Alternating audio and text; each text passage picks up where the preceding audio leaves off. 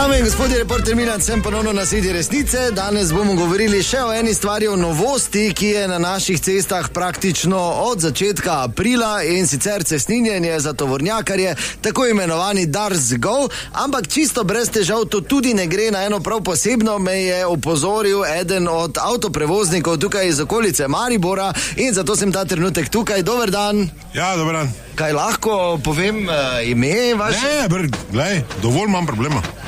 Brez imena. Tako mi grozijo z, z vsem živim. Ne, glej, imam zadnji še procese zaradi tega, tu go vze take, da me, mi je slabo. Pa Dajte mi povedati, torej, Nič ni, kaj registrirati, se moraš. Moraš se iti v Ljubljano registrirati, to ti daš to go, da lahko imaš to, ker to ni prenesljivo, da je za tvoje kamione, bla, bla, bla, podpišeš izjave, tam ti grozijo, da te pred zidom ruknejo, če se ne držiš vse vreden, prav plačaš to, to plastiko. Uh, naložil sem si te 400 evrov, razumeš, ne? In sem šel domov. Šel pa sem z avtom, po to normalno, če še nisem imel registrirano, ne kam zdaj s kamionom, hodil v Ljubljano, če nisem imel fure. Vse v redu, prijem jaz domov, žene rečem, gledaj, tam sem čakal, ko butlo, ono, ja, ti si tako vedno živčen, pa to te fore, te še gola spet tako začinila, gledaj, tako me že vzebava. Pa mi tudi to papriko nasipa, celo noč me je žgalo gor. Tako da, da imam dva ljubljančana, ko mi silita skozi lape, vum pa me krampata gor po gurlu, sem rekel, pa kaj ti si bolana, ali kaj. Pa kaj te tebe zanima, Dars, kaj ti kamion voziš? Ne davaj mi paprike, no to je mamin recept, je te mama. Razumeš? Kaj mati je, ali ja žerem? Pustimo zdaj to. Dam v kamion to, grem na prvo furo. Na prvem me že ni rampe dvignilo, mislim, ni očitalo, ker sem imel minus 61 evrov. Se pravi, vkradli so mi 439 dol. kak to? Ja, lepo. Mislim, nisem vedel. Sem plačal bolj to. Čeprav sem jaz smel to, sem čakal vrsti na puno, vse tako treba.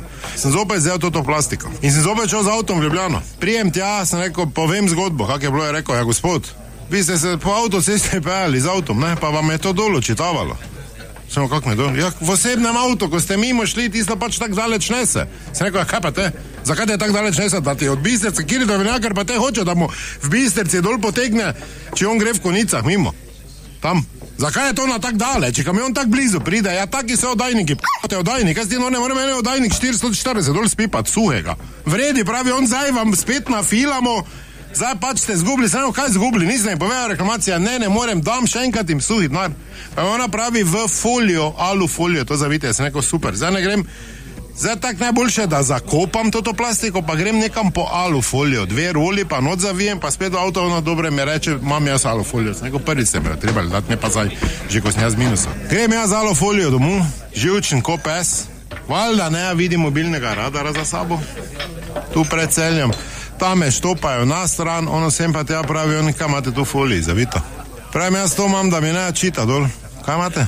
Ja, da mi ne čita dol, to ti čitalec, ker mi je dol že vkradlo živčen. Kaj me zdaj drkaš, če si mi tako že šest pik dal, pa, pa 500 evrov. Kaj me drkaš, če tako, kaj te briga, kam folije? Je rekel, oja, briga nas. Malo dajte to na stran, so bili že celski kriminalisti. So rekli, veste, kaj se valijo, alo folije vozi. Sem rekel, ne vem, ne vem, kaj se. Droga, da ne smrdi. Na zicu vozijo drogo. Na zicu, da ne smrdi, tebi valjda skriv. A, skrili bi. To pomeni, da še je nekaj v avtu. Glej, čako tri ure, prepeli pesa, vse po vohu, ono odvil te končno. Valjda sem odvil, pozabo živčen kot svinja, ker sem tam stal štiri dni na soncu v konicah, mi je spet 120 dol cuknulo. Prijem domov, makaron flajš z zelenimi pavžeki. Srno, kaj je to? Špinačne testenine. Srno, gled, zakoli se sama.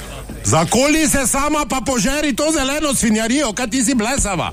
500 evrov kazni, 6 pik, 140 mi je spet konica dol cuknulo. Ja, kaj ti imaš iz zdravnikov, kako si živčen? Ostalega pa ne pove. Ja, hvala lepa, do naslednjič ne pozabite, resnica ni plenica, pa vendar marsikomu smrdi.